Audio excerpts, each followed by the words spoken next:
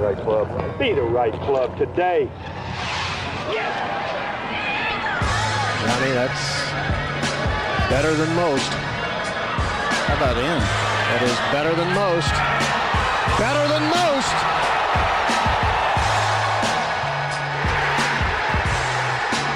Expect Ladies and gentlemen, the winter meetings are over. The cliques have made their move. We assume the cliques have made their move. Uh, we are going LIV. Jon Rahm is off to live. Solly here. Uh, Pie Man dressed to the nines. How are you, Pie Man? Good evening. Greetings, guys. Good to be with you uh, on this fine evening, uh, December seventh, the day that that may live in infamy. Uh, and uh, good, good, good to be with you guys. Don't Uh, get canceled like like uh, Sean McDermott. TC is here. Hello, TC.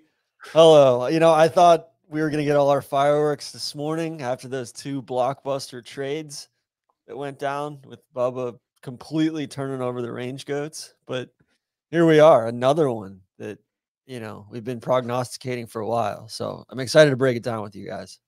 KVV is here. Hello, Kevin. Good evening. So I'm just here to apologize for whatever role my Rahm impression may have played in this. Uh, feel like you know it was all in good fun. We were having a great time during the the Phoenix Open and all that. But uh, if I contributed this anyway, I'd like to apologize to our constituency. Uh, listen, I was not expecting to do a, uh, a live show this time of year because we are deep into fall and approaching the holiday season. Rhoback is ready. Uh, this is a first I'm wearing a Rhoback hoodie underneath a Letterman jacket, which I had to go find my uh, my wife's old uh, University of Florida Letterman jacket, which of course, if you're listening to So the that's a letter woman jacket. exactly. Letter Uh, person's jacket. uh, yeah. Really slimming on you, T. It Sally, it looks great. I kind of like it. Yeah, I was I was gonna get ready to take it off, but I'm gonna keep it on. Uh, Rhoback is fresh off new restocks of our favorite polos, hoodies, and Q-zips. Trust us when we say there's not a better fit for gear for uh, the remainder of fall golf. The fit, the feel, the quality, it's all perfect. They just released brand new performance crews. They are soft and comfortable, breathable, lightweight fabric fabric that also has perfect stretch. They're great for the course or a night out. He shook. What He do I need to tell you? What do I need to tell you about the uh, the performance hoodies? Legit, the only hoodies we wear. The fabric is soft. We cannot take them off. And now you can pair these bad boys uh, with the new Rhoback five pocket pant. Let us tell you right now, some of the best pants we have ever worn. Now it's the holiday season. Load up on some Rhoback both for yourself and for others. Use code NLU on rhoback.com for a generous 20% off your first order through the end of this week. That's R H O B A C K.com, 20% off bottoms, Q zips, hoodies, and more with code NLU. Get ready for the holiday season with Rhoback. Can I take the jacket off now? Or are we done with that bit? Yeah, yeah, Are you- okay, so. thank you. Are you going to rock it the whole the whole night, Teach? Uh, I don't know. We'll see. My office is cold as hell, so it I, it actually feels kind of nice. but we'll Teach, what does it say? What does yours say? Uh, it's Genoa Kingston High School. That's Hmm. GK. Uh, My Letterman, AK. Letterman's jacket is back in Montana for for all those asking. I see some people in the chat being like, "Oh, where's the where's the loser college athlete?" No, no, it's, it's, uh, it's back in my it's growing mothballs in my parents' closet. Did you get one for for college football as well? You know, they didn't. I did not get a. I I I only played in like two college games, TC. So I'm not sure I would have even qualified for a letter if they gave those out. Uh, it's a lot of lot of practice time though. A lot of getting my face kicked in by future NFL linemen. Can we get to the story of the day? Um, Mhm. You know, the reaction to the rollback, of course, is what we want to cover on tonight's show. Um, Yeah. Just you know, just want to kind of go maybe rehash a couple topics from that show last night that we did. But Kevin, I don't know if you're going to be with us the whole night, so I'll start with you. What's your what's your reaction to uh, this total shock of a move, Jon Rahm to LIV? We did not see this coming. Yeah. You know, I surveyed some of my friends who are not in our golf media space uh, recently. I was like, say, how do you feel kind of about the state of pro golf at the moment? And two, uh, uh, just like one after another, they were all like, I'm so like infuriated by all of it. Like, I don't even really choosing sides in this moment. I just am exhausted by all this crap. And I feel like that was a, a pretty good temperature taking of the state of like people who don't follow this like quite as religiously as we do. Like it's just exhausting. And I think that the sort of between this and the literally the rollback stuff, the fan is kind of getting fucked over in a lot of ways. And I, I just, I'm just kind of like trying to understand that perspective of man, if you don't really like give a crap about the LIV, you know, PGA Tour war, and you just want to play your golf every weekend, and you would like to watch more golf than you could, but the commercials are always bogging you down. It's kind of a miserable week for you. You know, you're seeing stories about how PGA Tour can't afford its purses and they don't really have a great plan for what's going forward. And they just lost arguably their best player. And, you know, what are you going to do like as a golf fan? Are you going to actually like, all right, well, I'll just tune in anyway? Guess what? You might not. You might just be like, you know what? I'll catch it at the majors and that's it. And what if golf is on a path towards becoming tennis where we really don't care about anything but the majors and maybe even less than we used to? That's my, I guess, kind of downer of a moment is like, I don't really blame Jon Rahm for any of this. Like, if I were Jon Rahm, I wouldn't have taken the money because I I feel like it's a principled sort of stand for me, and I would not have done this. But I don't blame him because I feel like TC, you could you kind of feel this too. Like the leadership is so fucking terrible within like the PJ Tour at this moment that why would you trust one entity over another? Might as well get paid. Hundred percent. Yeah, I mean, like it's like where's the light at the end of the tunnel? Mm-hmm. Right? Like you know, like am I am I surprised that that a big player left? No. Am I surprised that, you know, uh, going back 3 months or 6 months or whatever, am I surprised it was Rahm? A little bit. Yeah, based on some of the things he said and some of some know, of the things I, he said.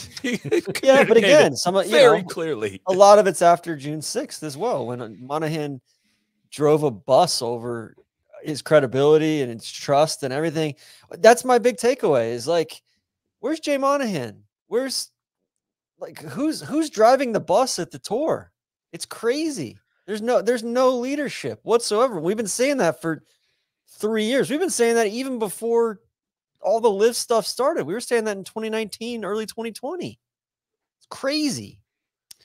I I feel like today I can't tell if uh, first of all, when we, I mean, we found out Rahm was going. This is a couple weeks ago now at this point, and I was stunned myself at my lack of emotional reaction to it. I, it was kind of a an inward look of like I've kind of bottomed out here. Like I don't, I can't go any, sir. I can't pull over any farther. Like this, I, I bottomed out here as a golf fan, and I think I I did a dead cat dead cat bounce off the bottom today. It was kind of like started to picture like, all right, this is like, all right, one by one, we started picking apart a lot of the things that have kind of fallen apart in the golf world probably four, or five, maybe six years ago, even of like, hey, guys, this part here doesn't make sense, right? And then something new comes along, like, well, hey, that doesn't make sense. Why are purses going up? Like the ratings aren't going up, and why are there two golf leagues? There's barely enough attention on one, and they're just layered all of this dumb shit on top of each other that makes no sense. And I feel like today was a tipping point of like, all right, what eh, it's a huge loss for the PGA Tour. It's a huge win for PIF. Like I, don't believe this is a huge win for LIV. If Dustin Johnson and Bryson and Brooks Koepka and Cameron Smith and all those didn't make people watch. I don't think Rahm is going to do it, right? I think, you know, all those guys are, uh, Phil Mickelson included, those guys are all needle movers kind of in the same vein that Rahm is. Rahm is obviously the top player that has done this and uh, a totally different shift in that regard. But it just is like a total like all right now we're in the dumbest possible phase of all of this. There's nothing left to save on the pga tour. The mules are you know staging a coup and like there's no leadership at the top. There's no you know eh, there's a supposed negotiation going on between PIF and the pga tour and like this has to be the thing that brings things together right? Because no one is winning currently. Like the uh, you know PIF is just losing less. Like, and they have more ammo and they have everything to withstand all of this. So I don't know. I it, we can work our way into that, but I do feel like this is this can be funny. a good thing. That's like LIV, TC. LIV sold like 500 tickets to their to their Miami event. 500. there, there's okay. I'm, I'm of a couple different minds here today. I think I'm sorry. I'm I'm with you in that I. If you had told me six months ago, like, hey, Jon Rahm's going to go to LIV, I think I would have had a much more emotional, like eulogizing the PGA Tour type of reaction. I do want to just underline, underscore the jacket was pretty warm, by the way, so I had to take that off. Mm-hmm. But just, I feel like for a podcast that really made its bones laughing at the absurdity of pro golf, laughing at some of these moments, I think we got to just linger a little longer on Jon Rahm on Fox News in a Letterman jacket announcing that he's going Bret Baier. to LIV with Bret Baier is just maybe the ultimate like who gives a fuck man? Like this is like look at what we're debating here. What are we trying to what are we trying to save? Like who cares? And, and KVV that's where i'm kind of with your your friends you were talking about earlier is much like we were talking about with the rollback stuff is like if you like me and like i think all of us on here if you want to spend 50 60 hours a week on this stuff keeping up on all the game theory keeping up on all the different things and all the different levers and machinations of what's going on i, I can get to like where i actually think this is probably a good day for golf fans and i'll get to that in a second. Uh but if i'm just a casual fan i'm not reading the distance insights report. I'm not following where like all the how Rahm affects the negotiations between PIF and you know all these private equity groups and the PGA Tour and Newco and all of these things. Like, who gives a fuck, man? That's that's exactly where I'm at. Is if I was a normal human being person, I would say, guys, I'll see you on April 11th or whatever. Have fun. This looks like you're doing great. I'm gonna go watch basketball or you know read a book or get ready for spring training. Like fuck this, and uh, you know I'll I'll pause there. I guess for for your reaction. Oh, I th- think that's that's pretty accurate. I I, I um I, I- I do want to pause on this a little bit. I feel like even myself probably giving Rahm a, a bit of a pass on all of this in terms of like I, again, I, I- I talked about this last weekend uh, when we we I mean we knew this was coming and we kind of did that show as if Rahm was going to leave, but man, I just I tend to take these guys at their word, right? When you say one thing, I'm like I, I don't even remember if I said this on the show Sunday, but after so this is after June 6th. This is at the US Open at LACC. We're walking the eighth fairway, and I'm walking with Rahm and Sergio. And Rahm like kind of pulled me aside as I was kind of like sniffing around as to like what's going on with this LIV stuff. And he was like almost like pulled me aside and like stop asking me about whether or not I'm going to LIV. Like I don't like the format, man. Like I told you, you I don't like the Gave you the Nick Saban. Yeah. I, i'm not going to, so quit asking. But it was like very direct. I, I didn't even like commit the whole conversation to memory because it was so much like, okay, like I, I all right, let's move on to the other guy that maybe we're worried about jumping or whatever it might be. Um, and he was just so adamant about it. So on that level, it's like, dude, it's just kind of just so freaking otherworldly and bizarre to see him on Fox News with Bret Baier. Uh, just my day held hostage. This was supposed to happen at 11. There was something supposed to happen at three and then 445 and it doesn't come on until six or what 630, whatever it was.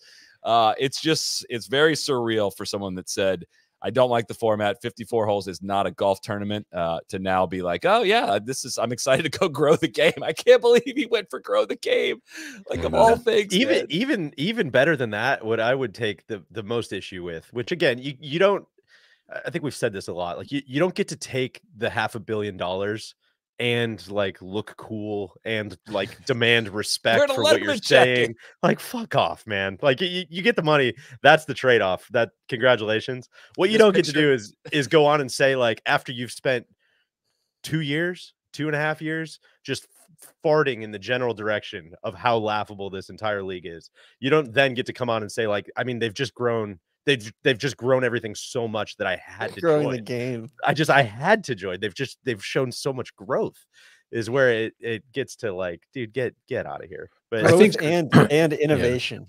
You One of my biggest- innovation. one of the biggest bummers for me is like Rahm is such an eloquent, interesting thinker who sort of prided himself on always being able to sort of give you some version of the truth.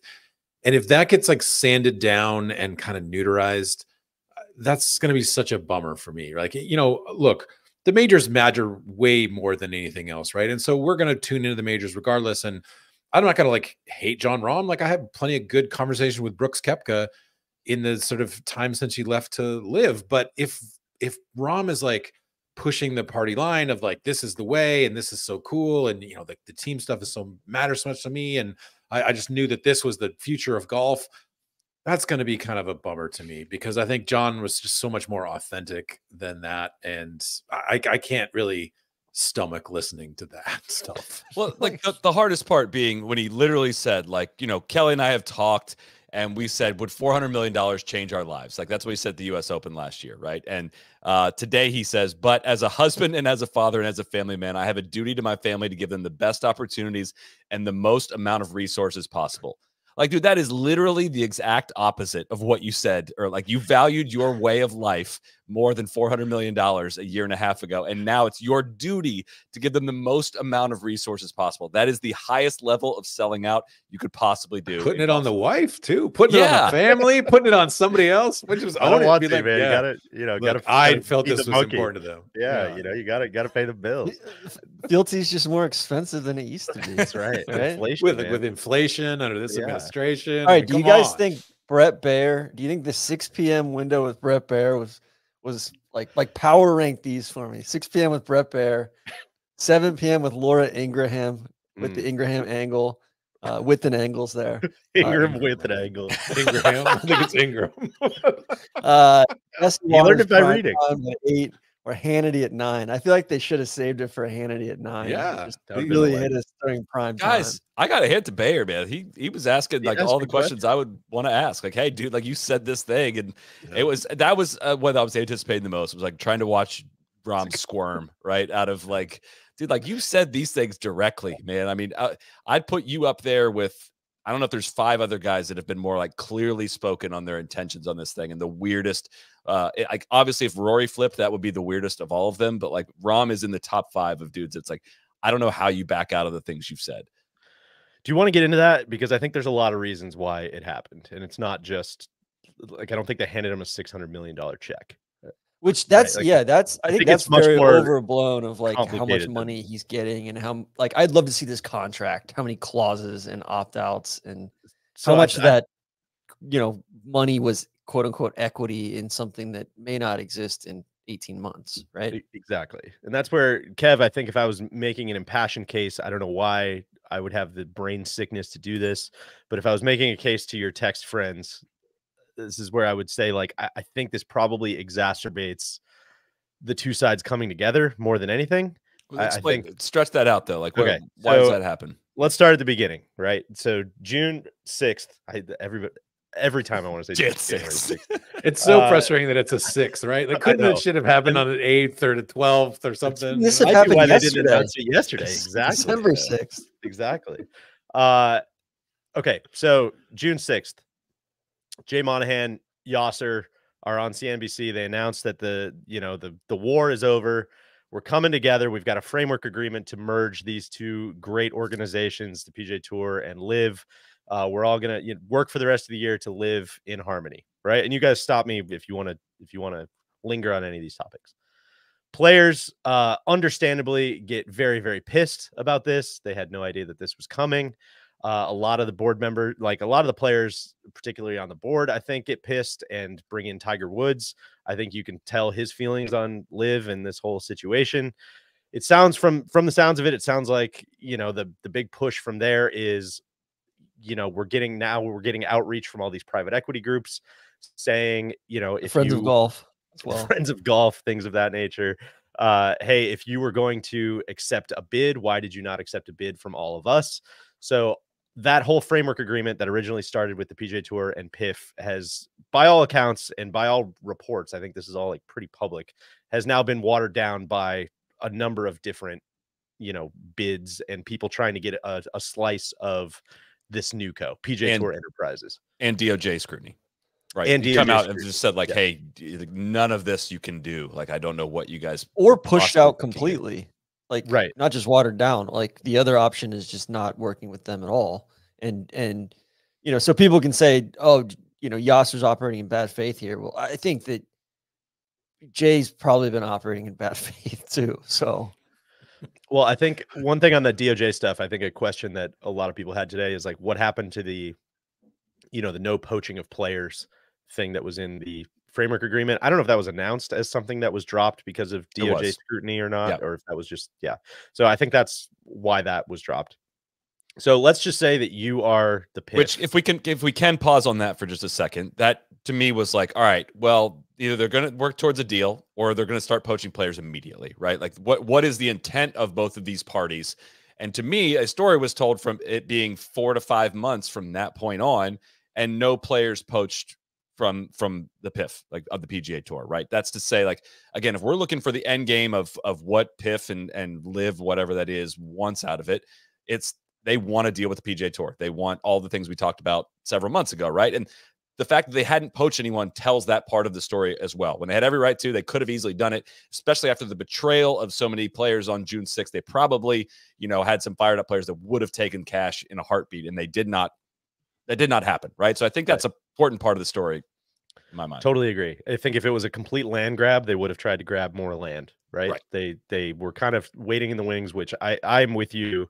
Signals to me like, okay, they're they're sincerely trying to get this deal done, and I don't think that's like a stretch to understand why, right? Like, there's a lot of people I saw in mentions today that are like, why would they need to have this big negotiating chip if they just got Jon Rahm? Why would they still want to? Why would they still want to merge? It's like, well, because they don't have any fucking revenue or TV ratings, man. Like, what is what is the future of that league? Like, they still are trying to destabilize it enough to get in the door and and get a piece of it, right? And so, well, and in that, like in the meantime, there the tour got eyes for other private equity for other sources Right. of funding, and Liv says, "All right, like we're losing our leverage here too, especially now that the that the litigation's dropped."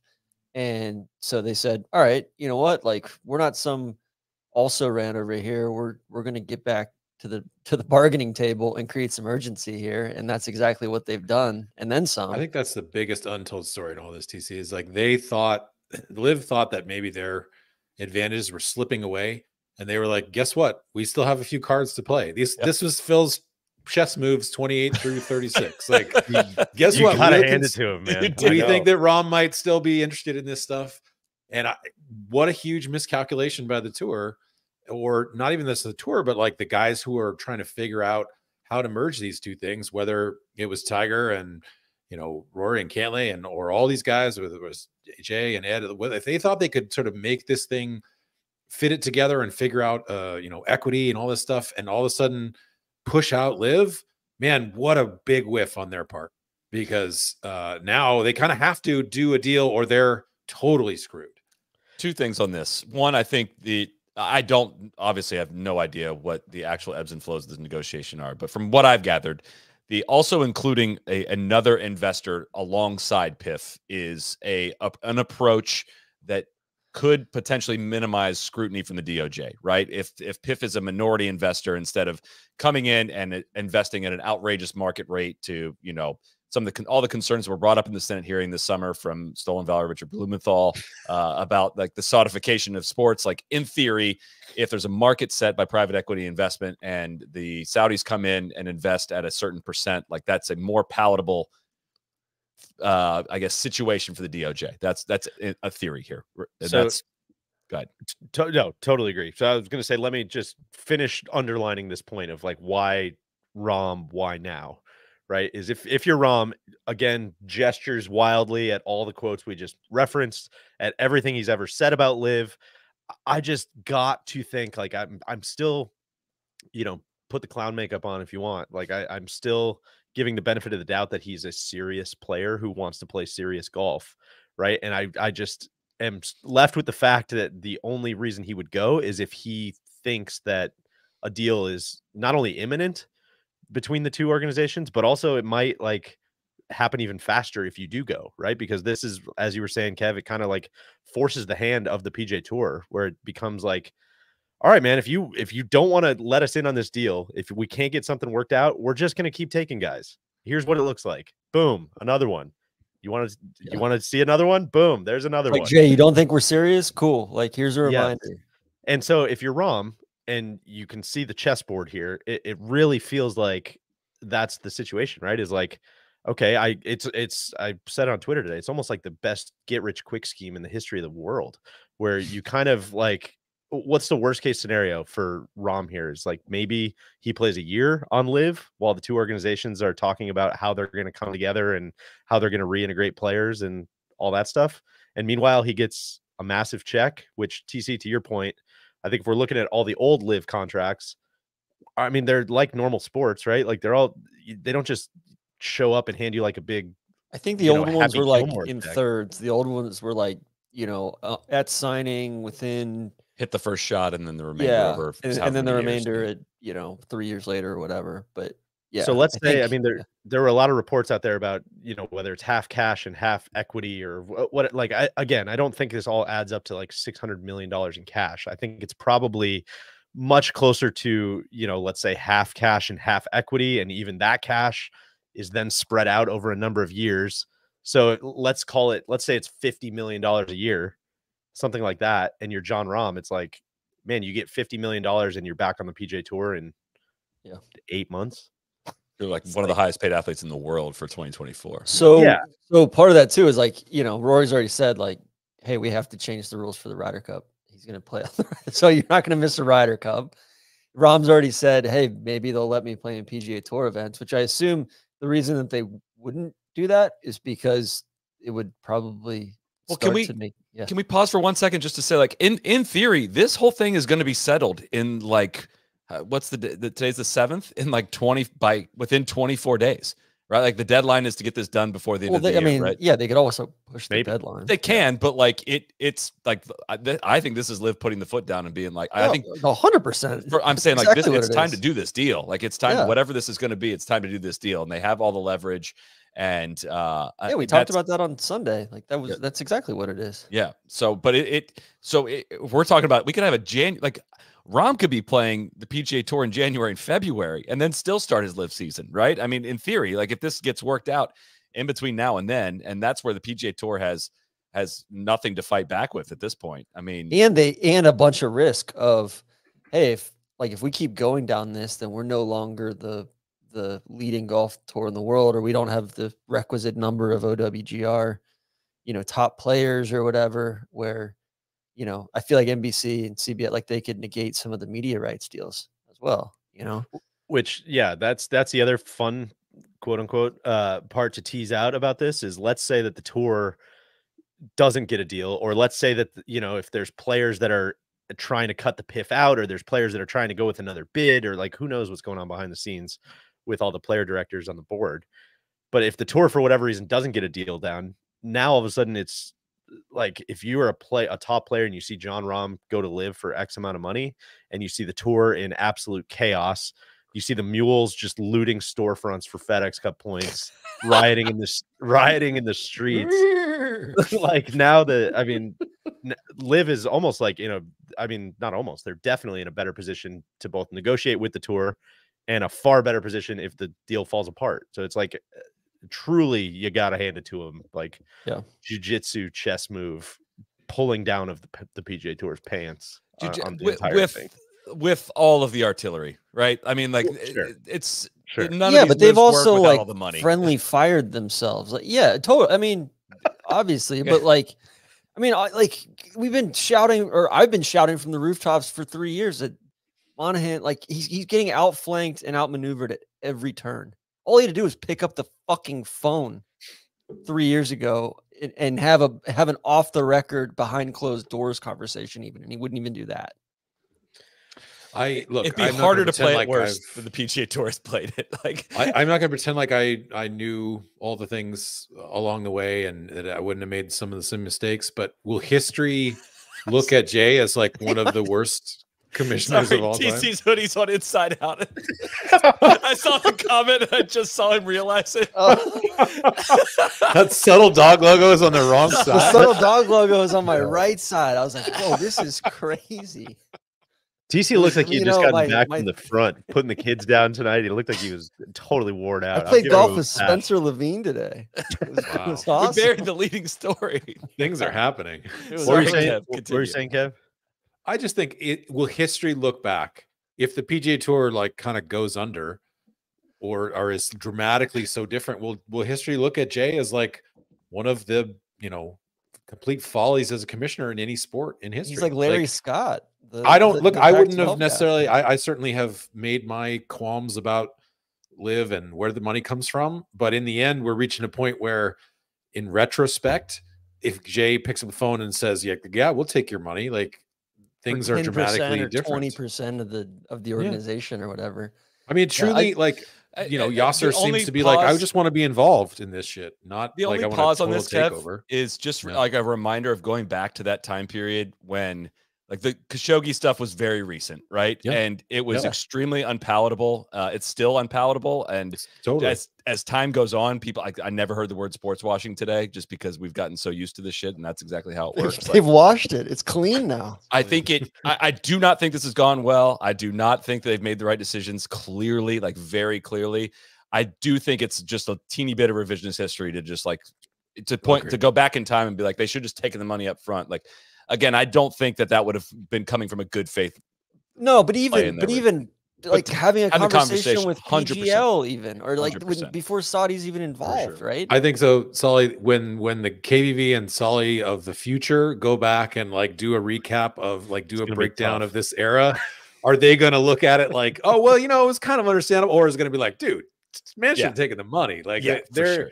Sure. I hope that we, you know, we get a little bit more nuance and credit, but I also know like when we're doing some of these looks backs at like the 1992 Ryder Cup, like the the mistakes seem obvious. Yeah. in retrospect. yes, yes. There's not a lot of like, well, you know, Phil just wasn't playing that well. And I'm so, super confident to listen back to a lot of our, a lot of what we've said, like when, like when when Jay, I wouldn't encourage the anybody to 9/11 do that. families or, you know, different stuff. I'm, it's like, yo, like this was stu- like saying it day of, this was stupid or that was stupid. Like it's just at every turn, it seems like there's a decision tree and he takes the wrong thing. But DJ, back to your point of like, I think that this could be a seminal day in that, it, like, it's the day that everything started moving back together because it can't get any worse for the tour.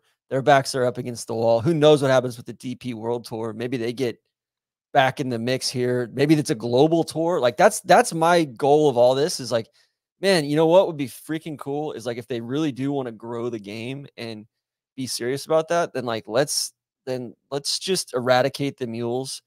Like, you know, lop off Huma- humanely. yeah 25 to 30 you know pga tour events put those fold those into the Korn Ferry tour or whatever and then basically have a worldwide series of 20 25 events with the top 75 100 players in the world And And that's, that's where what that's where I started getting excited today. Right? It was like just just look around, dude. I mean, Mhm. just looking at the already depleted PGA Tour, the mule they can't even figure out what's remain. Like the message still hasn't gotten through to the mules, who still hold way too much power. Like again, you just would never set up the PGA Tour to look like that. You would definitely never set it up to lose a bunch of your top talent to money that you cannot compete with, just on any front. Jon Rahm's overall contract is more than an entire year's purse on the PGA Tour. Like they just they're not going to win that race television products unwatchable. You are you've upped the purses so much that don't make any sense that you can't pay your bills. You're going to your sponsors that are seeing this this product go to shit and be like you guys got to make up the windfall on that because they can say no we absolutely do not do not need to do that and you have LIV who still nobody is watching right? Despite spending billions and billions of dollars truly the worst cpm rate like dollars spent per viewer investments of in sports history i think it's fair to say. They're not winning right? That they're it everyone is losing so badly that the only solution is to get together and figure out a new way to structure professional golf. It's not going to look at the PGA Tour. PGA Tour is not going to win. I don't know if PIF's going to win. I don't know if the game of golf is going to win. I don't know what's going to happen. It cannot be worse than this, and it is torn down to the studs so so in such a raw fashion that the only way it can go is up from here. Do I think they'll nail everything? No, but like I think we end up with some sort of star-driven global tour, LIV and PGA Tour players back together again. Uh, and I think the PGA Tour and the DP World Tour are feeding those tours. Like that's burn it see down baby Just burn it we're done. like at this It's over. point it's not worth saving burn There's it a I, down. don't- I think the the mules have no idea what's coming. Like I think they're in. Like if you're a fringe player, you are in real trouble of being going able to, to play Wichita, golf for a homie. living. You are. You are going to be grinding it out on what is the equivalent of. storm coming over the, the old range. Nike They're all- tour, the they don't got Hogan tour. coverage. You are sharing hotel rooms and cars. Like you, your life is about to get brutal because the value that you provide is not going to be worth shit. It's just Ugh. not. I and I, I wish that like Rahm might be the mule skinner Stroud. Neil said he Rahm wanted a truly mule might be the mule skinner. to emerge. This Chris Stroud it. talking about how we need a union, whatever this week. Like, I don't think I've ever heard a professional athlete as clueless as that in that statement. It- because to have a union, you have to convince the actual players who are worth a shit ton of value to join you in their fight and to see that you have to be picked up in the sort of larger, you know, wave of like value, right? I think management has to feel a threat. Ma- yes, they have to feel like, okay, you're an essential part of this. We should band together. We're more powerful together than we are separate. That could not be less true. In They're already golf. cutting you out of the tournaments. Like Yes, they don't need and- your labor. And so, like, I'm sorry. Like, you guys should have pushed so hard for whatever formats were keeping you involved in this, but you're you're in trouble. Like, I, I and I hate that for some of the people who we like and are friendly with or whatever. But man, like, none of this shit is going to work out well for the fringe players. It's just not. I can't Oh, believe it- my hoodie's on backwards. That's the best.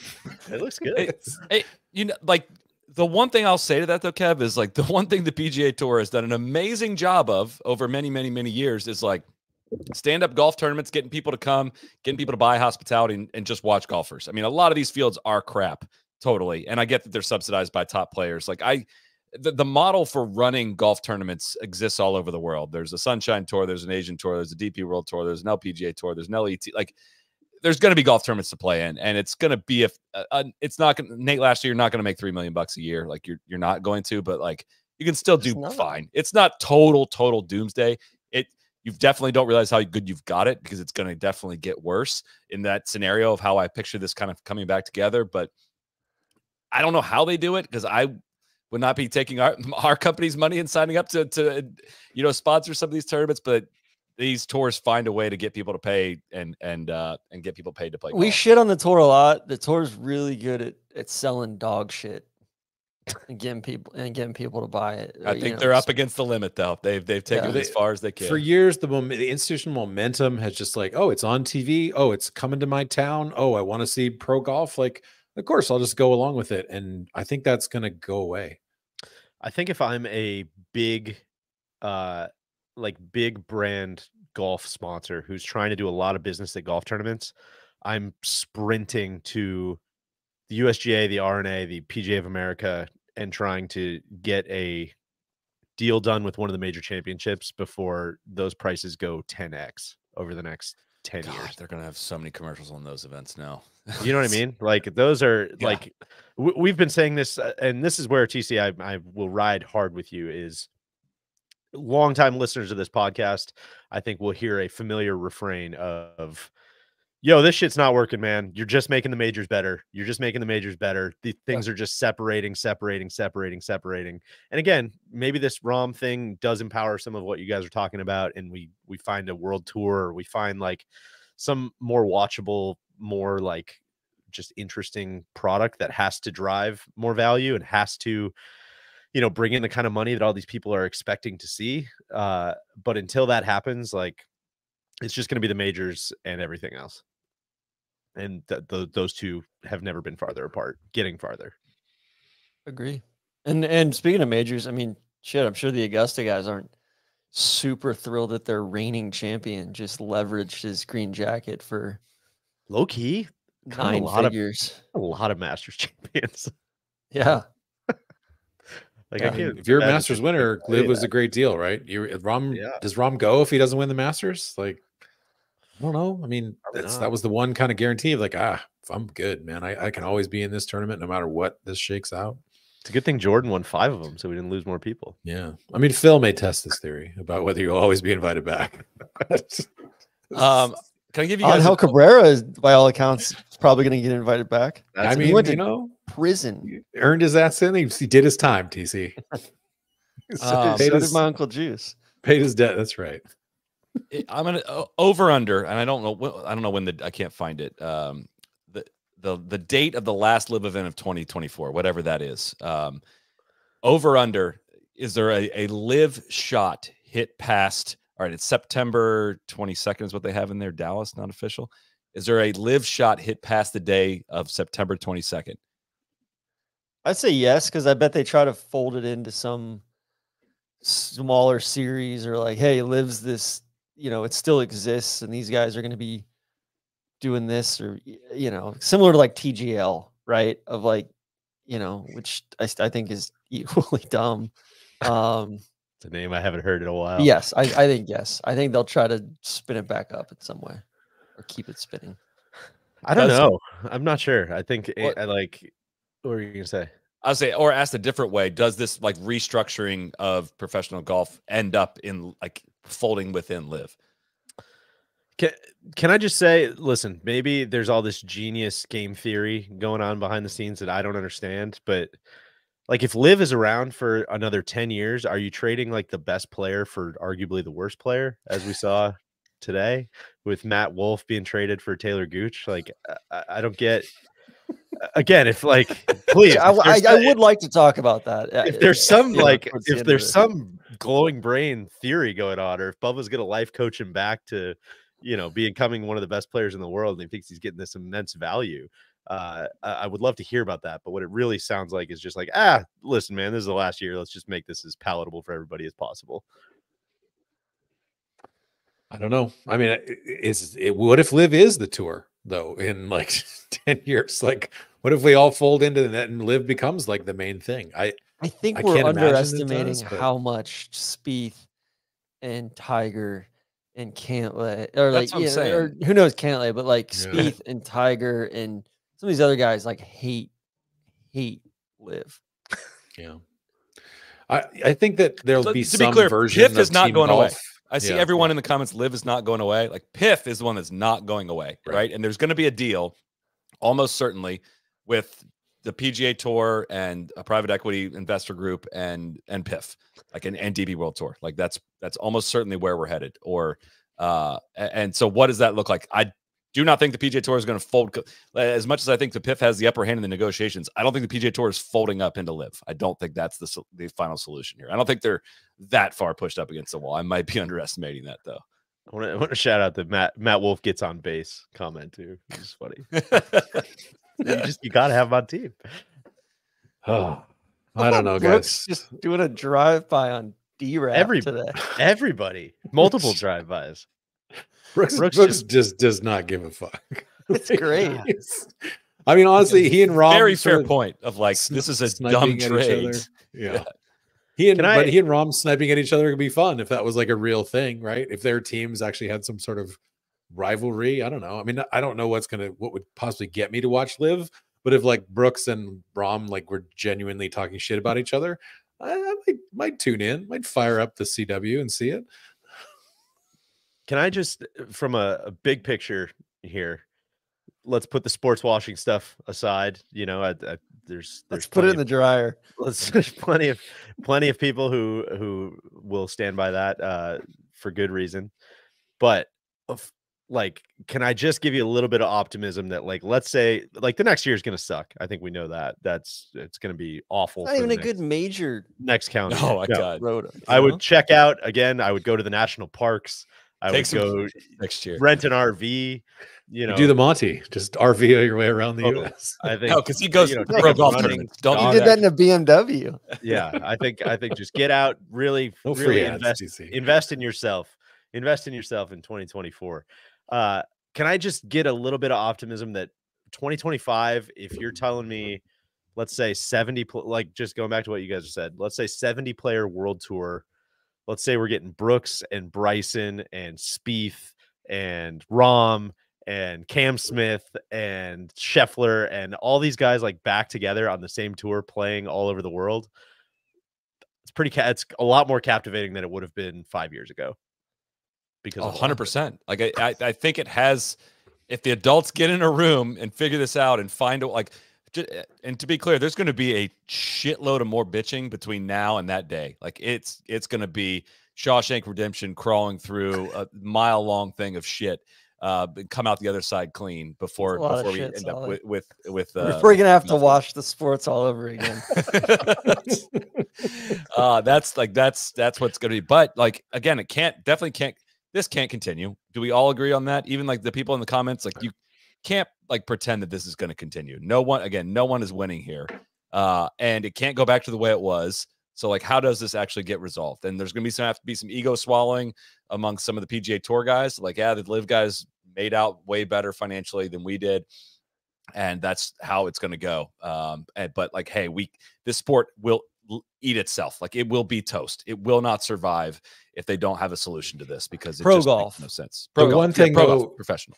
Solly that I would say to that is like boxing splintered and never came back together. tennis is sort of splintered in a weird way, and that hasn't really like it can. The egos are so big, and the money so sort of coming from so many different sources that it could just basically be like, no, we we just rather. There's too much selfishness. We'd rather have a shittier product. And uh, boxing has lived that life for 30, 40 years, where there's three different belts and nobody actually knows who's the heavyweight champion or middleweight champion. And the point. like big fights are sort of like come and go. No, there's no schedule to them. Uh, you know, the majors are I kind of the probably one still thing we the have is the but- majors, though, right? Yeah, Like that's that's the glue that's holding it all together. yeah. Which is where, yeah, it feels much more like tennis, right? Than like boxing. Yeah. I did see some of our LIV bot friends saying that the majors would be extinct soon if they didn't somehow take Hmm. PIF money or something. I, I there's some I don't know conspiracy theory that I can't even get around. So Oh, is that if you if you don't let Taylor Gooch in? Then, then apparently, yeah, the they would majors? the, the majors would just dry up and be you know unimportant and non-existent. Well, it's kind of one of those things too, not to where sure. like even the even the big events, you know, the PGA, the Ryder Cup, U.S. Open specifically, have almost become unwatchable in and of themselves, even without PIF money or without any you know any of this stuff. So it's like, hey, they're driving people away, even even when everybody's playing together. Then Mhm. hey, let's let's figure that out. You know, You know what? I, I just I was thinking about it a lot today, and you know what I don't think is going to be the thing that just drives people away from golf is losing five yards in 2030. you know, like I, I just I think there's a lot of people doing a, a much better job of that uh, than than that rule change would. Oh, guys, I'm gonna tap out of here. I, I, I I'm gonna tease. I think the big guy uh, might be stepping in to bring some of his, uh, you know, classic uh, Randyisms. So I'm hopeful that maybe he'll be able to to maybe see. he'll be able to pick up somewhere I left off. But I I think, you know, I always thought when this shit started to go down, at least it's interesting. Like at least it's sort of a gives us shit to talk about, and I think that's been true for a lot of this year. But I'm I'm kind of exhausted by just the the swings of this, and I just feel the way that it's turned off so many people who don't follow this like on a minute to minute basis like they do and i just i'm concerned that that is going to be a, a stain on like not just like the stain on the game from the honor system of it but like when baseball went on strike in what was it 94 it, it took so long for people to like get over that and come back to the game i just worry that that's the future for golf in some ways that somebody's going to be like man i have screw this i'm not going to watch this shit anymore for a while i'm just so annoyed by the greed of it. And will it take like a tiger type figure to bring them back? Mm. And that, you know, but maybe that hopefully that's Ludvig TC. But I, I just feel, I feel like that it's teetering on the knife's edge of, hey man, like fuck you guys, like like fuck. why should I, I- why should I care about this? I got so much better things to do, and and football is so much you know more compelling on a week to week basis. That's just my I- concern. and dude I, not. I i wish the people in charge whoever that may be of any organization like felt that urgency i just don't think they do i think their heads are still in the sand but uh i don't know many people are saying rahm is running from ludvig i heard that a lot today tc Really? So, Huh. yeah yeah I didn't hear that. yeah i had a lot of sources telling me that so Interesting. interesting. all right See ya, Kev, Kev. you gave us seven great innings. We're gonna we're gonna see if we can get a six out save from the big guy. Uh, I'm in a big baseball mood if we can. Here's but- hoping. I Uh, feel like bring it was, it, it's kind of a uh, kind of an uh, Randy. You were you were doing a you were installing a washing machine. I feel it's Mm, kind of apropos for all the, the sports washing that we're talking about here. your Yeah, you could you could launder you can launder whatever you want in a washing machine. That's true, TC. Uh listen, washing machine washing machine shockingly easy to install. You just hook up the cold water, you hook up the hot water. I mean, that's pretty pretty much it. It was Got to plug it in. Yeah, too. we rocked them. If I dryer do say vents, so myself. those are hard. Getting the, Yeah. little, the Yeah. cu- like the aluminum thing around the dry that that can be kind of challenging. I have to say, guys, I have no idea what we've been talking about. I said in our mm-hmm. private chat, I'm sure you don't need me. I don't know what you want from It's me, but Thornton, I am man. here. Let's, we're I talking am Grant here. Thornton. Yeah. Randy, will you just give us the biggest dose of like cynicism that we can Just add possibly something. stomach? You I think gotta this is your- 99 coming out of This is your time. You could use it however you like. Todd Coffee You got is a big, you got a big in. platform. Whatever you, whatever you want to say. What would you No, say to the governing bodies right now, Randy? Uh, No, that's too much pressure. Where's Jimmy Dunne? Have you guys talked about Jimmy Dunne? Where's Jimmy No. Dunne? We have Where are these? Where are these people that negotiated the June sixth uh, proposed framework agreement? Why are we not hearing from them? Was this part of the plan? I, I just don't get it. I don't get anything.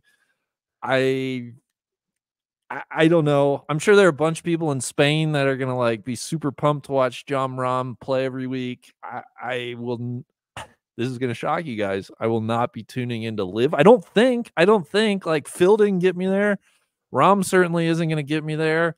Um, I, is this just a means to an end? I it just I, I don't know what to think, guys. I, I need I need a little help. I need a little help here.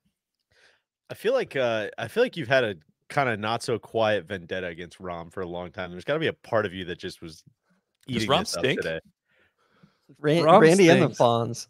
Exactly. Listen, I never Rahm just never quite did it for me. I, I think you know he's just a big burly guy. He's not the most graceful golf swing. Like I, I never have like particularly enjoyed watching him play golf.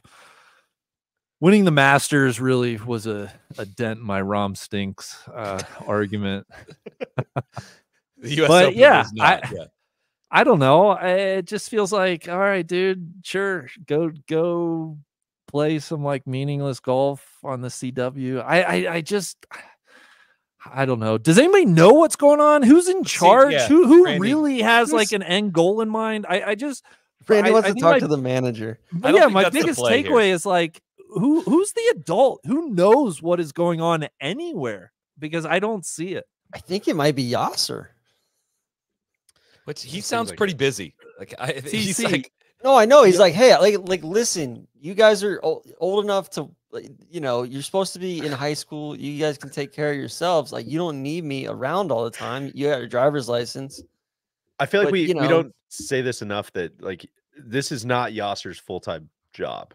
Like he ma- he not even manages what close. what the I eight think he hundred does this, billion like, dollar uh, fund. Like this is Yasir's fantasy football team. Can we just get my guy an. Augusta membership? Like, is that Right. all he really wants? Exactly. we could have avoided all of this. Uh, yeah, I don't is know. The I'm governor sure- of the Public Investment Fund of Saudi Arabia. He's the chairman of Saudi Aramco. Uh, he's the chairman of Al Halal and the chairman of Newcastle United.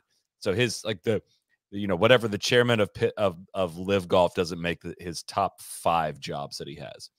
Well, oh, and then all the all the umbrella companies that they have, you know, investments in.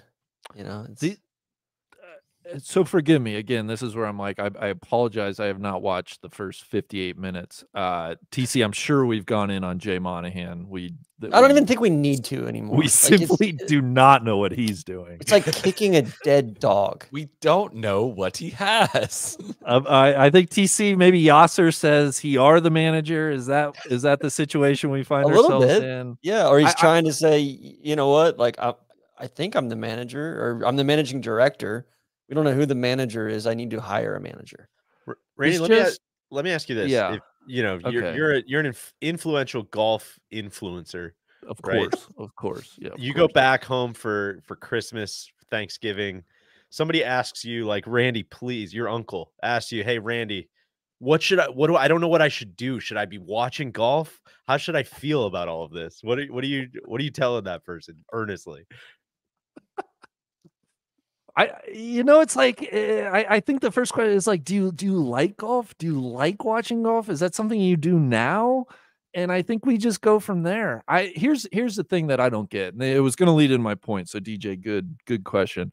What, what I will acknowledge there are a lot of smart people I think involved in all of this from like every angle, people we probably don't even know about. I, I think there are certainly smart people and maybe KVV touched upon this. I just can't shake this feeling of I, I think perhaps there's a blind spot or a um j- just a sense of like taking a golf audience for granted where uh, this just turned like guys it's been no big secret but like I haven't given a shit about men's pro golf in a while What? and I just feel like I, I just feel like I, I hope the people in charge recognize th- the very real fact that this is going to turn a lot of people off and LIV might win i don't really know what win means like is LIV going to exist in two years is it is is Rahm like is this all a means to just a big coming together? And I did catch KVV talking about the baseball strike, but that's kind of where my mind is at. Is like, guys, this is like really, really off-putting. Like, Icky. you know, Icky, l- icky. nobody likes a public labor dispute, and when when it's when it's this just greedy and over um over compensate like the, the the market values don't make sense i just think there's a real risk of like people are like why am i watching golf again outside of the four majors and i i think that's you know looking two three years down the road i i just don't know what's going to change or what's going to be the catalyst maybe it's this big global tour but it's like why am i why am I tuning in to watch the Italian Open on some random July after? Like, what what's different about that than That would be the what we have on the. PGA Tour now? I, I just don't see how you're going to draw a bunch of new eyeballs to this sport. Um, it's it's a niche sport. It's it's not for everybody, and I think that's part of the charm. And so I, I I'm just very confused. I have no answers. I just have a lot of questions. That's where that's where I keep coming back to as well is like nobody wants to hear this and maybe this is small thinking but you know maybe golf was only supposed to be like this big. Maybe it's not supposed to be this big. Maybe it's not Right. supposed to be the NFL. Right. Maybe it's Tiger- maybe it's Tiger you know? messed a lot up, right? It was too much too fast. Everyone's doing a land grab, and now like the tide's starting to go out, and everyone's just claw like these smart people that you're referring to, Randy, are like smart at extracting what they can out of the professional game, like Sure. namely agents, right? I mean, that have just made millions and millions of dollars out of the PIF uh, just from getting their guys to convert. And like it again, just leaves all the fans on the outside just sitting here like, what did you guys do? Like, sure, you all got paid, and like everybody pulled up the ladder uh, behind them on the way. Like the ladders that were that were laid by the many people that that played the game before you and built the structure of this. Uh, everybody pulled up the ladder, and now I don't know what the how to finish that analogy, but I know it's not good. let, let me ask you guys this question. This is not rhetorical. I, I would like an answer for this. Kevin and I were talking about this earlier. I think he's working on writing something that'll will probably be up tomorrow or in the in the coming days uh, to this effect. He kind of teased it at the beginning of the podcast, but there's all these like little micro decisions that have gone on over the last four years, right? Or maybe even bigger than micro decisions, TZ, maybe macro decisions. And let's say each one of those has like a winner and a loser, right? When was the last time that the fans were not a loser in one of these discussions? Like truly. What was the last good thing that happened for just fans of watching golf on on TV? but that's where okay, let me let me jump in here because DJ, I totally agree with you. But it's like I I, I get self conscious because like I y'all have made me watch some LIV golf stuff. Like if if that's the future of the television product, like I'm good. I I don't need any of that. But maybe You're a not a lot of people guy? like that. Well, maybe a lot of people like that. Maybe I'm out of touch with what's hip and popular and cool, and that certainly that's- could be. No, You're- you be are because the ratings yeah. were so big that Yeah. they didn't want to share them because they didn't want other you know tours to feel bad. Yeah, it would Yeah. embarrass other tours. We're, like, TC, We're who was our growing- rules guy? we're growing the game. We're we're having fun. Slugger White. guys No, are the wearing other, no, the other guy that was uh we'll have to look it up. Here's golf's look it big up. problem. Golf's big problem is at the end of the day, it's fucking golf, right? Yes. And like that's inherently it's not cool. You know, when I was working, people what who if you watch make it louder? But what if you make it a lot louder? Uh, they they might know my buddy Dave Trudell, who I worked for up at Boyne, and I'll never forget what he told me. He's like, you know, like there are like golf, there are so many douchebags in golf, and I'm like, I've never gotten that out of my mind. He's exactly right. People who play, people who watch, people who everything. It's like golf is just inherently, it's not cool. And Yeah. so yes, there is a cap on like how popular this game can be because it's not cool, and it's And it played by like gonna- inherently You've not never cool seen people, and it's run by not hype cool videos. people. Those LIV And hype videos. You've never seen It's those. watched clearly? by not cool people. Like I'm not cool.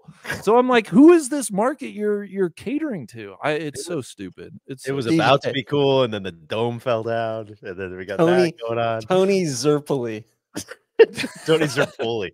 Yeah, Zerpoli. Tony Zerpoli. If he's involved, getting him and Rahm out there one on one would be would be good stuff. But I don't know, man. I I think tw- I think Randy, we said it before you came on, but I I think if there's a, a case for optimism, I think it's that the next year sucks outside of the majors, and maybe things come back together. And I think to your entire point, it's just gonna be fascinating to see like who's left at that point.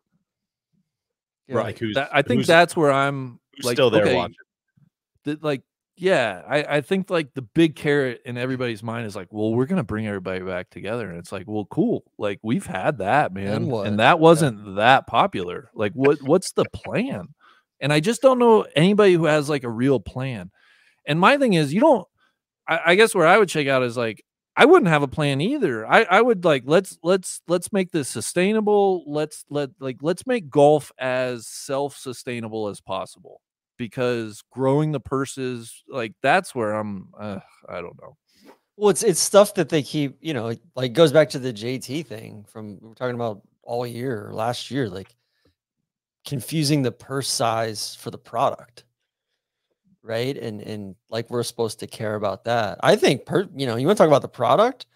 I'll tell you why Rahm left. A, because the, The app, app, the of app course, is yeah. terrible. I, I would have paid I would have paid a hundred thousand dollars today to have Rahm come on Fox News and say simply it came down to one thing. It was the app. I just I couldn't I couldn't follow this any Yeah, longer. Listen, the app's getting better. I'll give him that. And then B, pace of play. Rahm hates slow play, and they won't enforce it. And I know that pissed him off. TC, I, I- think that's a great point. I, I think there's a ton you could do at the margins to like make pro golf more fun You got to start for players, right? more sustainable. Solly, we've talked about it ad nauseum. Like eh, MLB, the most what I would think this like staunchly conservative organization has radically changed the game of baseball with with a pitch clock. And for the tour not to even like they're just like we we can't do it, guys. We we can't do it. Like we how are we supposed to how are we supposed to improve this TV product? It it just is so naive to me.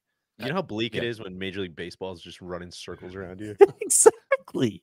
Like what are we doing? the progressive luminaries at Major League Baseball. I'll tell I- you what we need. We need the Acorn group. Big Randall Stephenson and the gang to, to pop pop their heads in, start start start poking around, looking for some efficiencies. I'll tell you Uh, what is going to be a huge bummer if if we are still allegedly on the Rahm to LIV topic was again this was like a kind of a, a stunner to me. I feel like all right, yes, Koepka won the PGA. He almost won the Masters. Phil almost won the Masters this year. Still, we don't. We should probably do a whole podcast looking back on that. But like, it kind of shocked me when I did go back and look at the whole, all of the whole realm of professional golf. Everybody's strokes gained for their entire year, and LIV didn't have a single guy in the top thirty over the last twelve months across all events. Was like, whoa, man, we talked about a year and a half ago. Like, are these guys going to stay sharp enough, you know, competing in this format? And I would say that's a resounding like no for the top players that went. And that eh, I don't see Rahm falling back. With the but, exception of Brooks, who won the PGA. Like he won the he won the a major, but like his, his LIV golf record was not very good this year. Like his again, his I bet his PGA tour record was not that good either. He I was like, gonna. he- I was he's an outlier.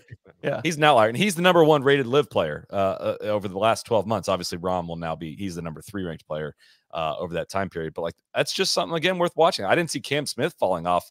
And Cam Smith was top five in the world coming off an Open Championship, and he has fallen completely off over the last year. And I really, really, really hope we don't see that out of Rahm. I don't think we will, but like all of them have gone backwards, uh, and that's you know that would be quite a bummer if that ends up being the case.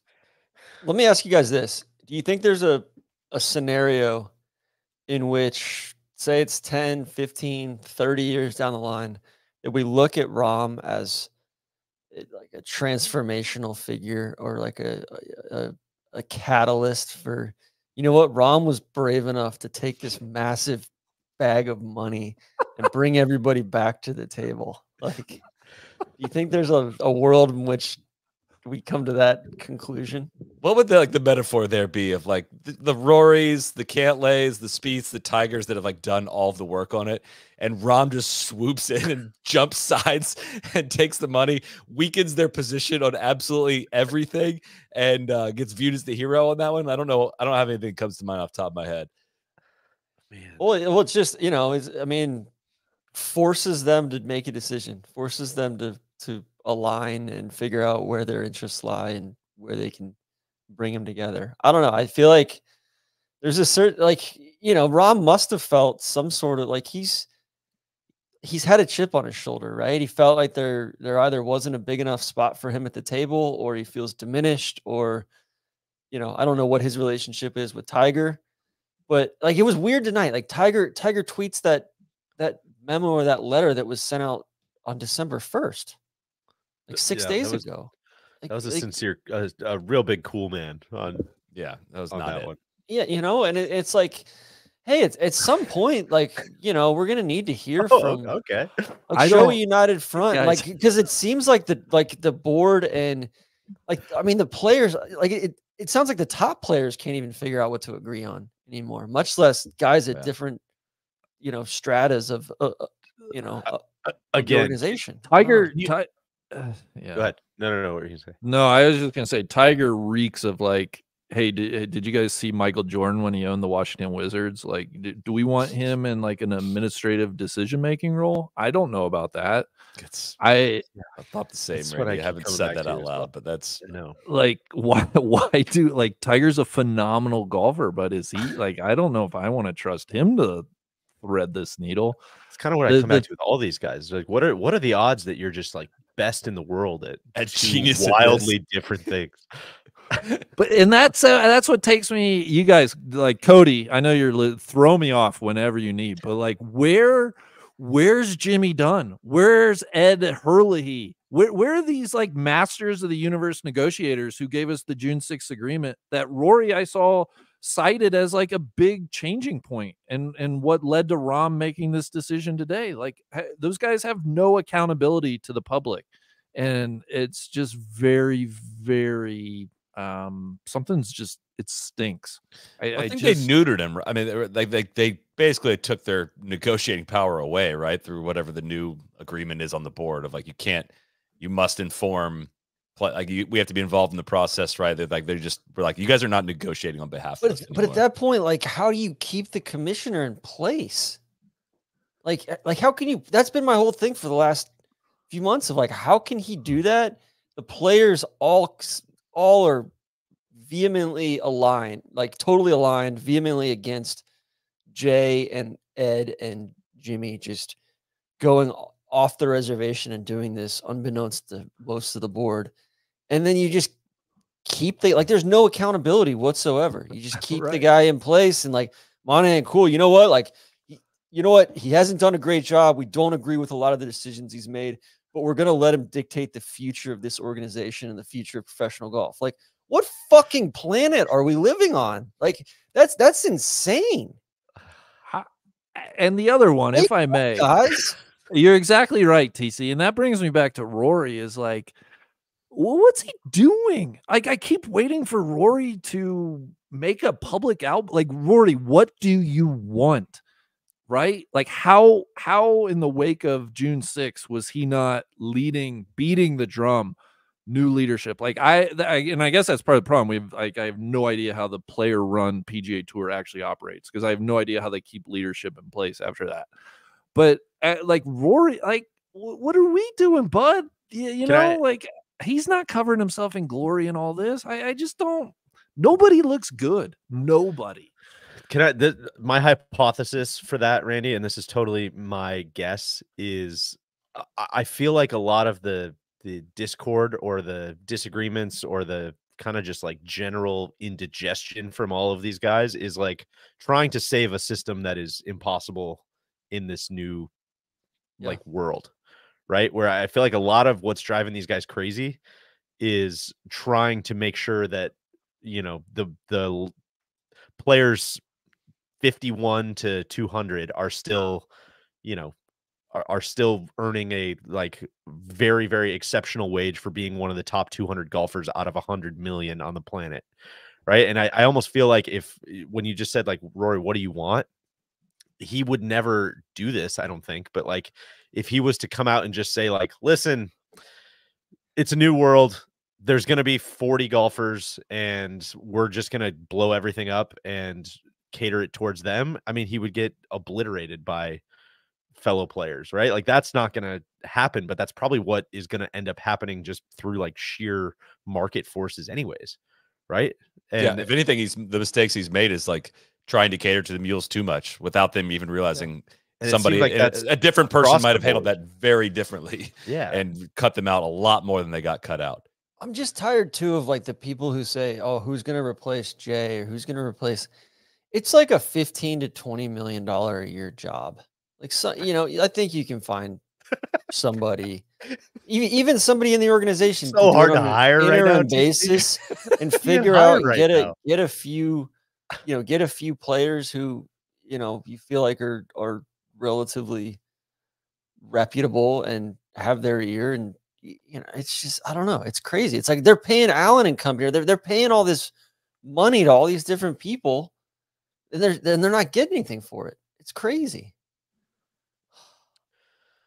There's an don't know. SI article. Um, is it written I- by ai or no I'll uh, I'll ramble here. Evening, gentlemen. Uh, I do think the fact that Rory's stepping down from the board, knowing that he was overly protective, of course, eventually replaced by uh, young Jordan Spieth, and then with the additional seat of Tiger in there, it seems like there is like there is one person there that was kind of looking for rank and file, looking out for them big time, being Rory with Cantlay, who already had that seat looking out for the stars and trying to get their bag. Now it seems to be kind of replaced to Tiger and Cantlay and Spieth, In- kind of forming an alliance to get the bag for the stars. Now rank and file are truly fucked.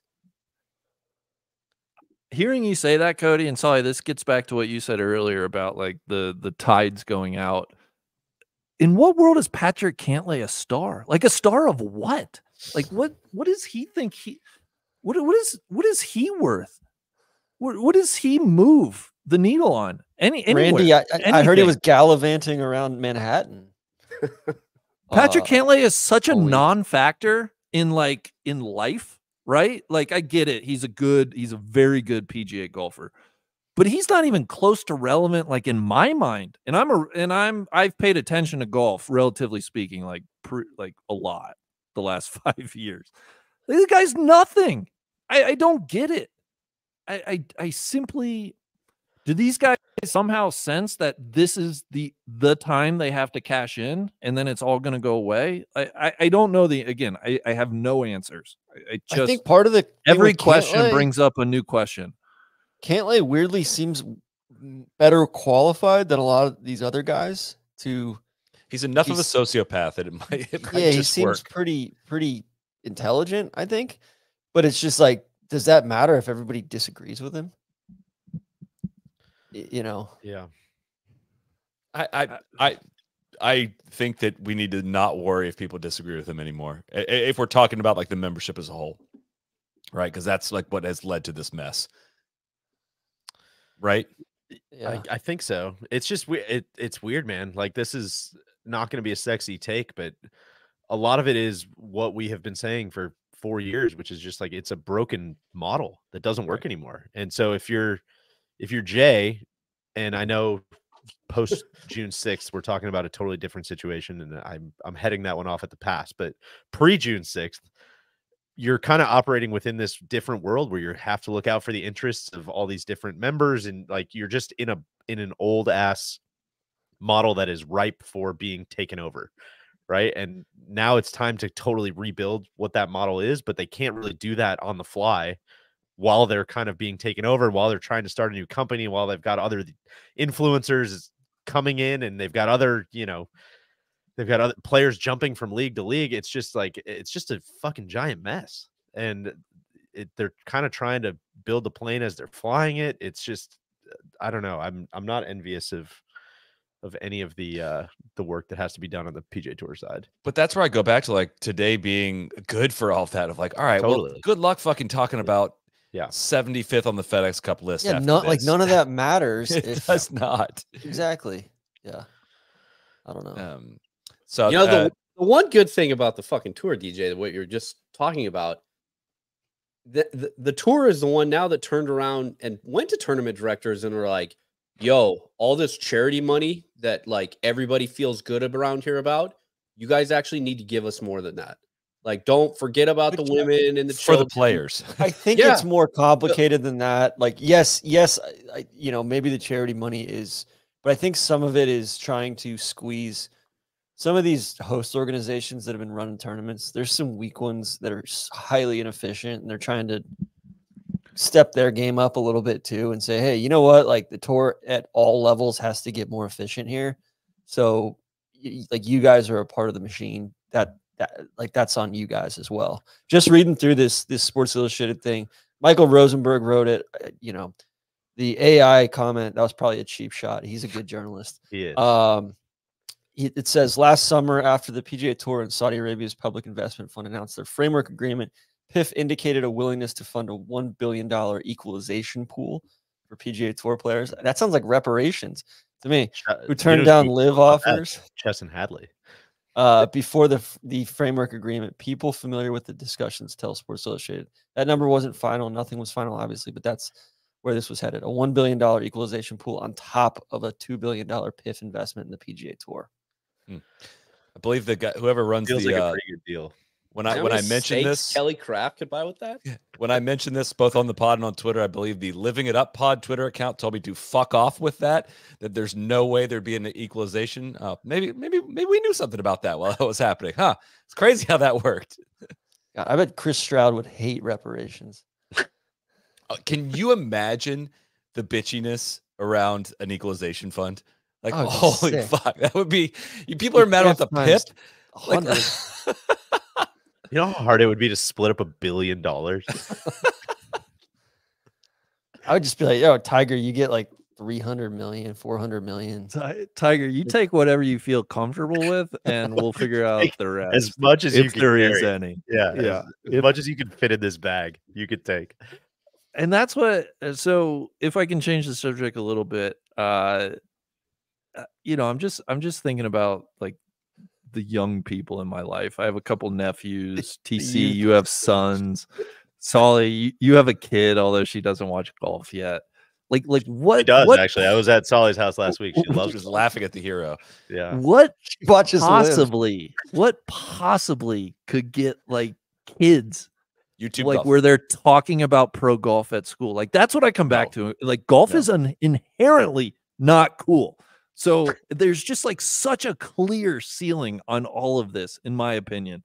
dude. like, that's like, why what like people gonna look- do? people like like your nephew's age like look up to like the good good guys like they like they look up to the youtube golfers when we were growing up that was not an option we couldn't just go log on online and just like watch people play cool golf courses people that we like like the option was to watch pro golf and that's not what the kids these days that's Watch not it- what their options We're out are here watching Jeff Sluman. yeah You know, watching Omar, tom you're Lehman just sweat up his dockers on a weekly basis like there's Man, other this options rules. Why are other kids not watching this? Right? Like, Tommy, this is so Tommy cool. Tolles. it's it's John over Huston. Guys, John John Huston was 23 under this weekend. Did you see that? That's how Randy and I got into He the seems game. like That a was nice guy. He seems like a really drug. good guy. Steve Flesch. Yeah. You, want- you know what's Northern cooler than Steve Flesch? Exactly. I, that's where I'm just like I don't know what the end the end plan is because like Tiger Tiger was about like as big of a unicorn as you could ever get in this sport and They fucked it all up. fucked it all up they they haven't capitalized but but part of that's like I don't know where you go from Tiger right like like where are you supposed to go from there I I don't know I, I don't know. And maybe listen maybe the LIV folks have all the ideas maybe they've won like I'm I'm ready to admit anything. I I truly do not care. I'm just fascinated to see what happens.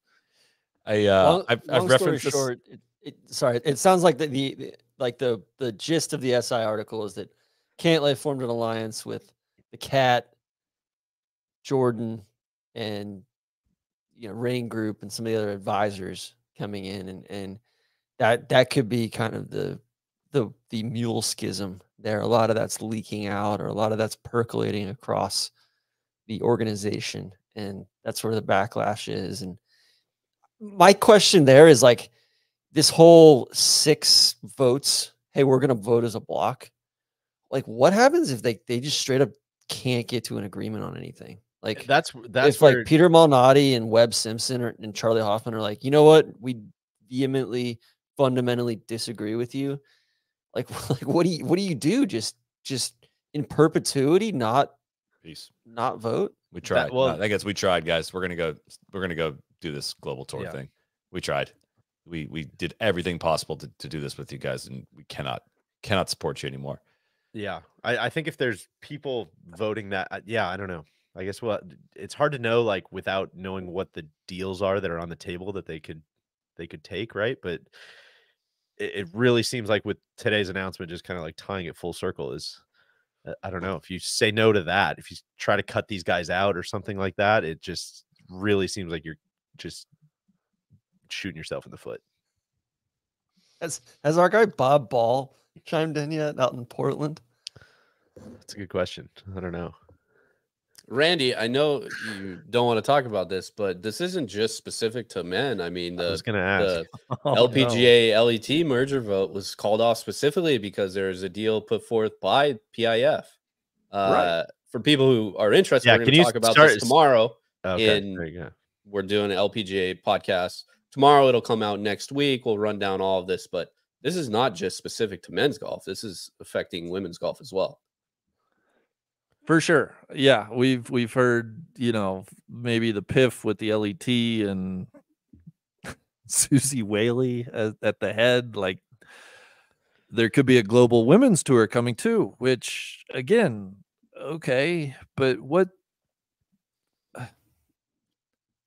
I I don't begrudge the rest of the world wanting like the best professional golfers to come and play in their country. Like I I totally totally get that. That that is very reasonable to me. I, I guess I just struggle with how they're ever going to match up the expenses and the costs to like what this vision is and, and what's going to make it a more enticing product for the viewer. I, Is there going to be a what- benefactor to golf? Is the question, right? Is it yeah. Is Right. it sugar daddy golf? Like that's what like LIV Adelaide was a smashing success. That's sugar daddy golf. Like the economics of that are taken care of by uh, It- you know, Prince Mohammed bin Salman. Like that's how that and, works. and the LPGA is already more of a global tour, so I actually think they're positioned well to you know create a European swing, create a you know go down to South Africa, whatever. Australia would be a, a great stop for a few weeks. I I have no problems with any of that, but I, I just don't. Okay, we we have this global tour, men's, women's side, like five, ten years. Aren't we going to be dealing with the same exact problems? Like the broadcast sucks people aren't really with the ratings stay like I, I i just don't understand what the end goal is with all of this except to get Yasir a, a membership at augusta like let's just get him the membership It's so Okay. funny too that they're doing all this while at the same time like destroying all this in, like intrinsic value, right? Like Yeah. they're turning people off. They're they're you know like they're just like people are fleeing. Ratings That's are what I. That's what I keep coming back to is, uh, you know, I'm, I'm sure I've said this on the pod. Apologies if I have, but the like, uh, the biggest asset that the PGA Tour has is not any of these individual players, other than Tiger, Rory, Spieth, Phil, couple a couple of guys that like are have been the you know, oh my god, I got to get home and turn on the TV type of guys. There's not that many of them. The biggest asset that they have is just that it's on CBS or NBC at three o'clock on a Sunday afternoon.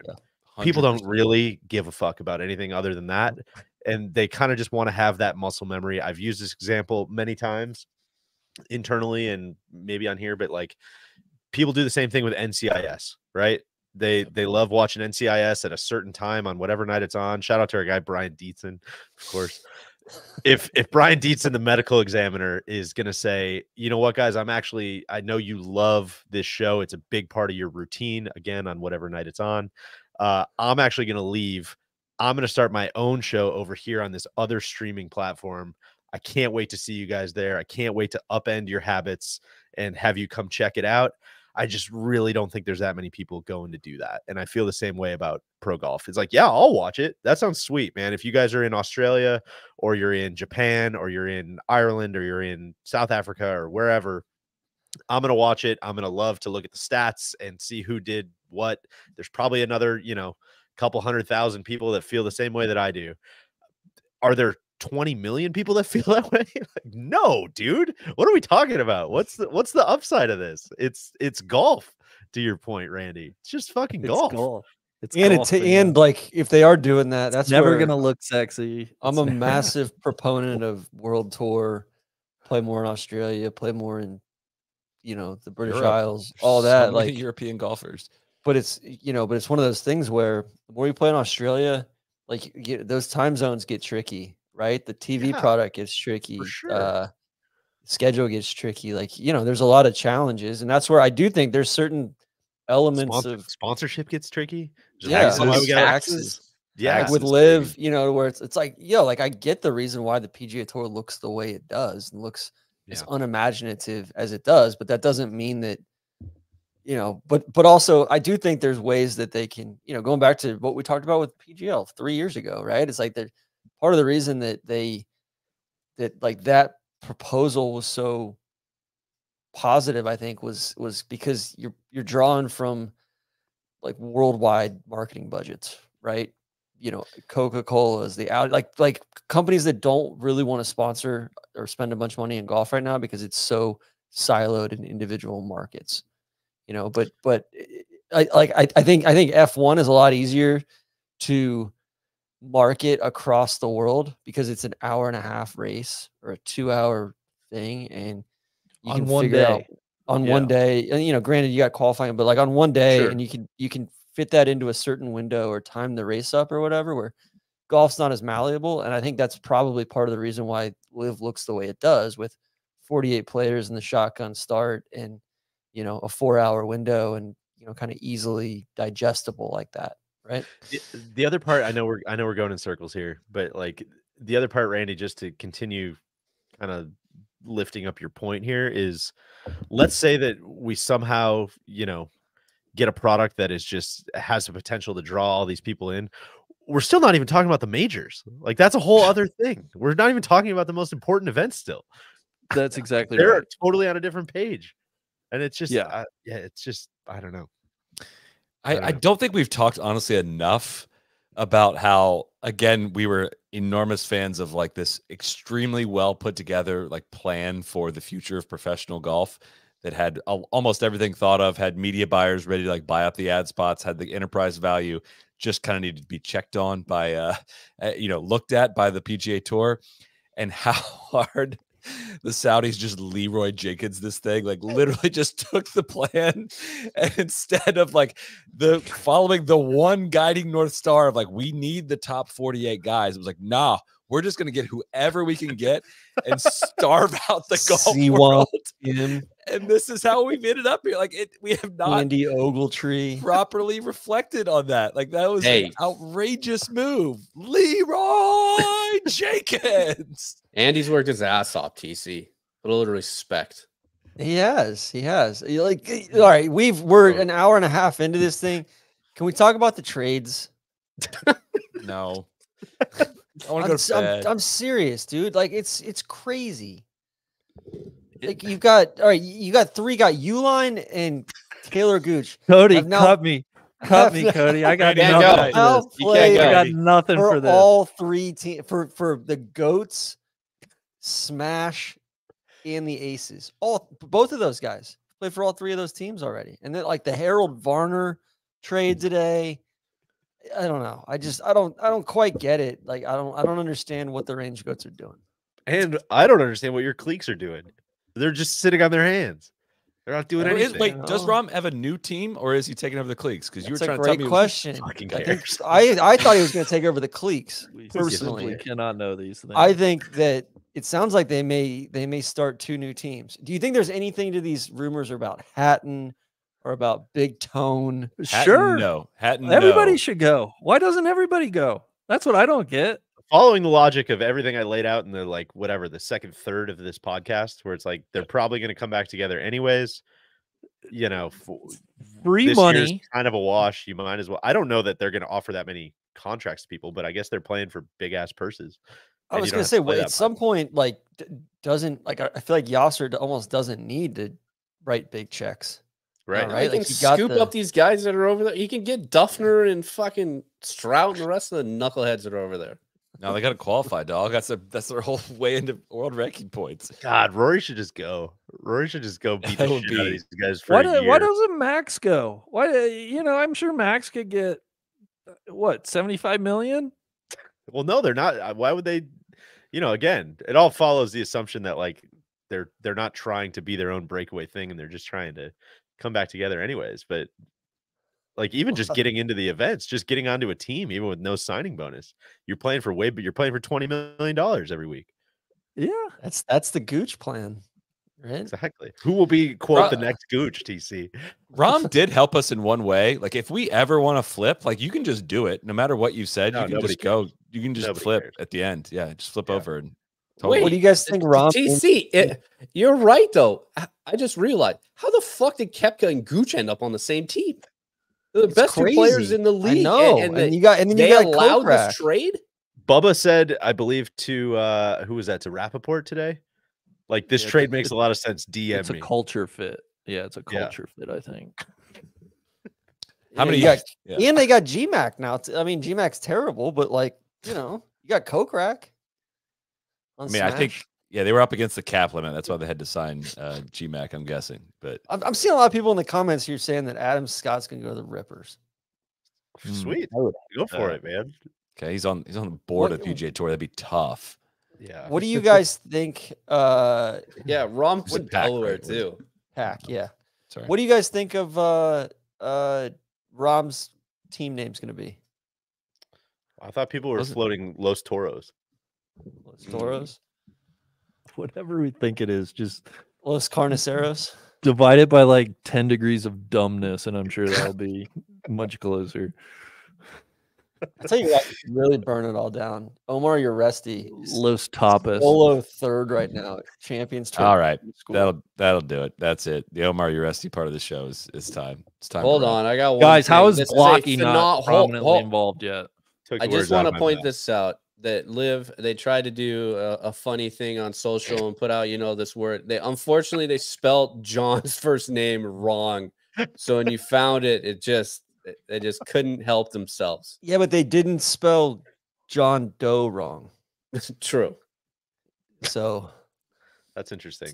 second uh, I, I think everybody saw this and they're like oh ha ha ha He what, called it. who- what? for, Uh, for those on the podcast, this was this was Max's tweet. Uh, imagine if Rahm announces this in a LIV golf Letterman jacket.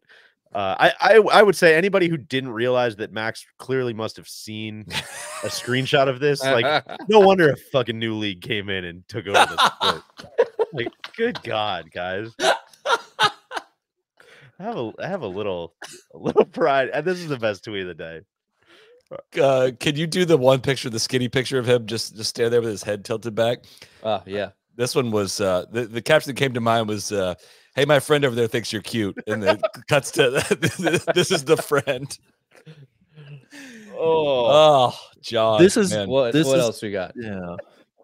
of course more Tease- letterman love TC, I'm sure you covered this. Big night for the Marist school, though, with with Bret getting the exclusive. Bret Baier, yeah, yeah. Proud Uh, Marist S- school S- alum. Solly and I's friend from Burning Tree. That's right. Uh, Randy Bret Baier is is one famous media personality. Ernie Johnson also went to Marist. I Tell like the Ernie. third the third media guy that that that went to Marist that I think blows both of them out of the water. David Hasselhoff, but he got The he got- Hoff. He, he got expelled. really? Oh. Yeah. All right, what do you guys think? TC, you, you must have seen the Scott Pelley quantum computing 60 minutes segment. No, I haven't last watched it yet. I haven't seen it. I'm gonna open God, a bottle of wine Pelley was tomorrow. in his element. I'd live for segments like that. Keith or Scott? Uh, I always get I him. never- I confused. can of never- course thank you to our friends at Thank you, Rhoback Cody. Thank you to everybody tuning in for this special emergency live show, uh, breaking down the signing of uh, young Jon Rahm to the LIV Golf League. Uh, anything else, you guys? I might make the the, the inside out hoodie my calling card. That's like the web Randy, on. did you notice that he's wearing his uh, Rhoback hoodie inside out? Who Currently. is Rahm? No, No, TC. TC is. Oh. It's it's an analogy. I got that dog inside me and and outside. He Someone also said that it teased. makes the Uh, dog logo even more the dog logo even more subtle when you wear it inside out.